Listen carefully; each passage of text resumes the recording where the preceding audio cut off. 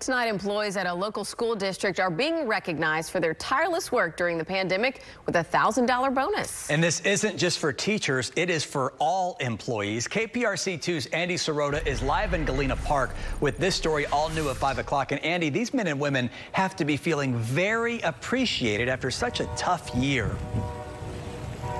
Very much so, Chris and Lauren. The emotional strain from the pandemic on educators has been overwhelming. Instead of telling the faculty and staff at Galena Park ISD what a great job they've done, school board trustees and district administrators decided to show them. Thank you so much for sticking with us and being here.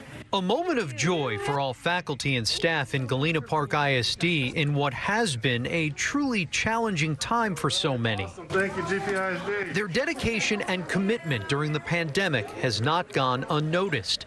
As a token of their appreciation, district leaders are giving a one-time $1,000 stipend. There was just applause and joy and laughter. It was it was it was astonishing. We were so surprised and grateful. Cynthia Tanaglio is a chemistry teacher at Galena Park High School.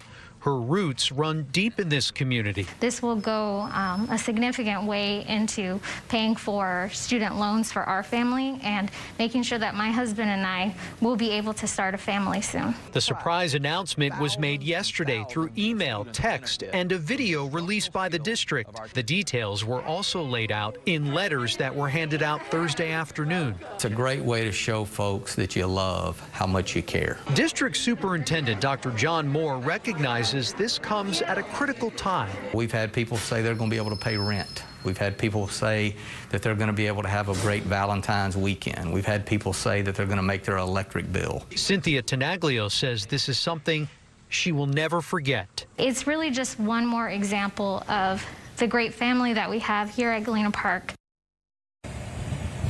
The school board also a, approved a pay raise for substitute teachers and auxiliary substitute teachers. Live in Galena Park tonight, Andy Cerota, KPRC 2 News.